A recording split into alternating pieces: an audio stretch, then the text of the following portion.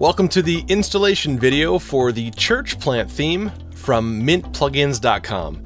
My name is Jamie and I'm going to walk you through a basic setup for this theme and show you how to get everything up and running within just a few minutes. Uh, this is a great theme for new churches who need to get a website up and running fairly quickly and uh, that are in need of features such as sermons, events, uh, team member profiles, and other church related features and the great thing about this theme is that it comes stocked and loaded exactly how you see it on the demo.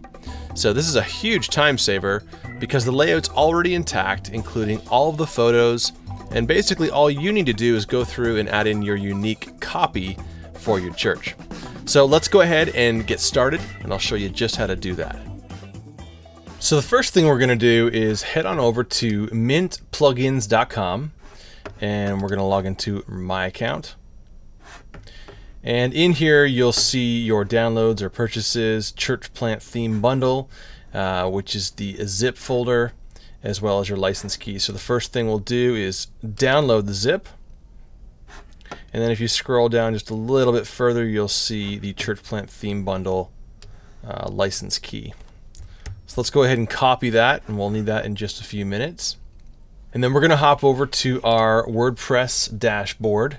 So this is your WordPress um, platform that you've already got installed on your server. And then we're going to go to um, Appearance and Themes. Click on that. And we're going to click on Add New. And then once again on Upload Theme. And then right here it asks to choose your file. And then we go and find the Church Plant theme bundle that we just downloaded. And we're going to open that and click Install Now. Okay, once this shows up, we want to activate that theme. Okay, and this is where your um, your license key comes in. So let's paste that in there and then click complete installation. And now it's just going to take a few minutes to go through and get the theme all set up um, with all of its uh, plugins. And again, just the way you've seen it on the demo. Should just be a few minutes. Okay, and once that's done, it'll show a success page. And now you can see it's um, installing the Church Plant Theme Bundle default content. So again, this is all the photos and everything that you see on the demo. So once that's done, it'll uh, tell you that the installation was successful. And now you can view your homepage. Okay, and you'll notice that your homepage, uh, again, looks just like the demo. It comes with the photos, comes everything set the exact way you saw it on the demo. So um, one thing you will notice is that when you get down to the bottom of the homepage, there are no sermons. And that's just simply because you haven't added any sermons to your site yet. Just to refresh you on what that looks like, I'll hop back over to the demo. And, and down here, this is what it should look like. And jumping back over to your site, that's blank there. Now again, once you start adding in sermons, it will auto-populate and the four most up-to-date sermons will show up down at the bottom here. The other thing you'll notice is that the footer hasn't been filled out. And just a reminder, that's what it looks like on the demo. And that's what it currently looks like on your site. Now, in just a few minutes, I'll show you how to, uh, with just a few clicks, get that all filled out so it looks exactly like the way you saw it on the demo. Okay, but first um, I'm going to give you a quick little overview on how to edit a brick. The bricks are simply, um, you know, layers of information that you've got on your page. So this first one here that says the journey and has the picture of the trees and the road, that's one brick. Uh, this white section down here with meeting times, meet the team, meeting location, that's another brick, and so on and so forth. So the easiest way to uh, edit these bricks is by double clicking on the brick itself. And once you're in the brick editor, you can start changing some of the content. For example, over here on the right hand side is the uh, brick background settings. So if you wanted to change out the photo, you would just click here and upload a new photo. And once that's fully uploaded over here, you just click use item and um, if you click update right away, and there you go, you have your new uh, background image in place. Uh, let's double click on that brick again.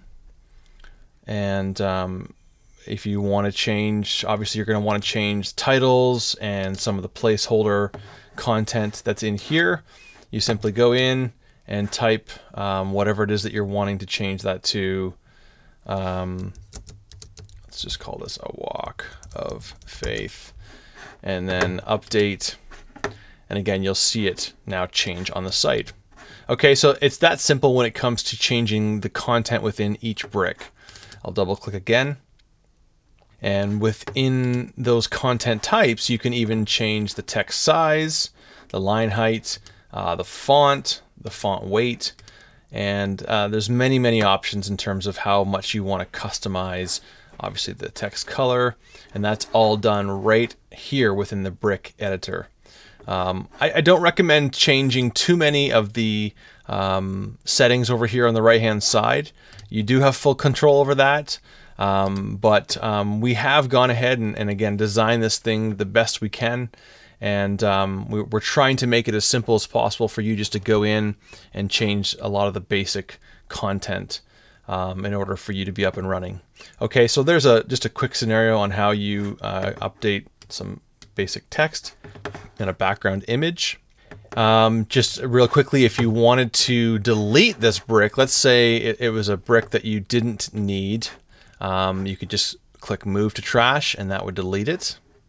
Um, if you wanted to add a new brick, let's say you were becoming more and more familiar with the MP Stacks builder um, and you wanted to create your own, you just simply click the add a brick and it'll bring up a brand new brick editor and you can get to work on the content types that you want to add and so on. And then you click publish once that's done. And then just real quickly too, if you wanted to reorder the bricks, let's say you want to change the order of how these appear, um, you'll notice a reorder brick over here. Click on that and that gives you a list of all the bricks that are on the home page and you can just simply drop and drag um, to whatever you want. Okay, so that's just a real quick crash course on how to edit, delete, and add new bricks. Okay, and next I want to show you um, how to get this footer looking exactly the way we have it on the demo. So just like we did with the top brick, we're going to double click on that. And it's already set up, ready for us to go. All we need to do is scroll down to the bottom to the first content type where it says widgets. And now we're going to start filling out the brick footer with available widgets. So the first one we're going to add is the custom menu. We're going to call this quick links. And then under select menu, we're going to select the available menu and click save. The next available widget we want is just a basic text. We'll bring this up here and drag it in. And we're going to call this quick info. And I happen to already have that information copied from the demo site. So you put in there, obviously you're going to, whatever your meeting times are, you can put them in there, whatever your location is and whatever your contact info is, you can change that up. And we're going to also select the automatically add paragraphs feature and click save. And then the last three things we're going to add are all MP stacks. So we'll go ahead and add one MP stack. And under the pre-made stacks, we're going to go sermons for footer and click save. Then we're going to add another MP stack. And this one we're going to make blogs for footer and click save. And the last one we're going to do again is MP stacks and we'll do social media for footer and we'll click save. That's it. All you need to do is have those five things in place and then we will click update and then you'll notice here at the bottom everything is in place just the way we saw it on the demo. Obviously recent sermons and recent blogs aren't in place and that's because there aren't any sermons on your site and there aren't any blogs on your site. But just the same way up in this brick, once you start adding those content pieces, adding blogs, adding sermons, this will get auto-populated down your footer as well. And you will see the most recent sermons and blogs. Okay, so that's how you add it to your footer. So it's quite simple. As you can see, The MP Stacks builder is very intuitive. And um, if at any point you feel you have any questions or you feel you're stuck on something, um, please email us at support at mintplugins.com and we'll get back to you just as soon as we can. We love to help you guys out. Um, we pride ourselves on great customer service, and so please don't hesitate to email us if you have any questions uh, on something that I haven't covered here in this video. We sure hope you enjoy the church plant theme, and thanks again for purchasing from mintplugins.com.